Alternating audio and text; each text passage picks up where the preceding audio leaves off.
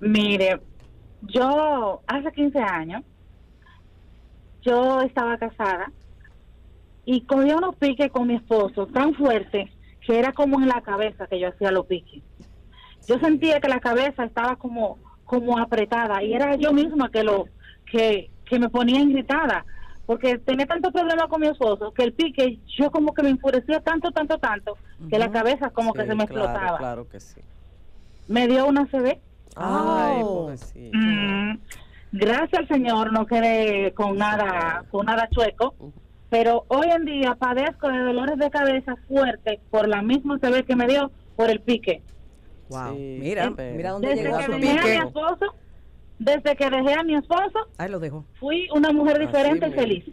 Y jamás he vuelto a coger esos piques que cogía antes. O sea que la fuente del pique era, era el, el era el esposo. esposo. Sí, Hasta una claro. CB, doctora, le puede un infarto a una gente. Claro, pero lo- claro. eh, escuchaste Claro. El, testimonio, el testimonio de ella, o sea, qué bueno que llamaste.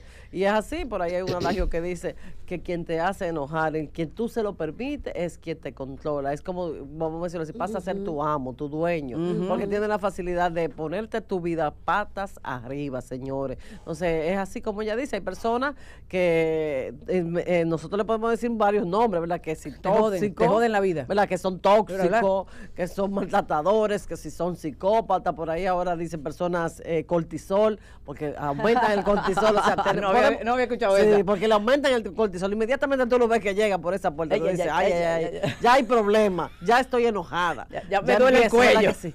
Ya empiezo a, a- a subirme, ¿verdad? Que si los niveles de ansiedad, de tensión, por eso le dicen personas cortisol, empiezan a subirse. Entonces, inme- eh, inmediatamente tú alejas a esa persona de tu vida, sea mamá, papá, sea esposo, esposa, tú lo alejas, se ve la mejoría, porque esa persona sencillamente tiene esa inten- intención de dañar y de hacerte sufrir. Qué bueno que pudiste zafarte de esa relación tóxica y hoy en día estar eh, por lo menos tranquila. ¿Cuánta gente así, verdad? Mucha gente viviendo esa realidad.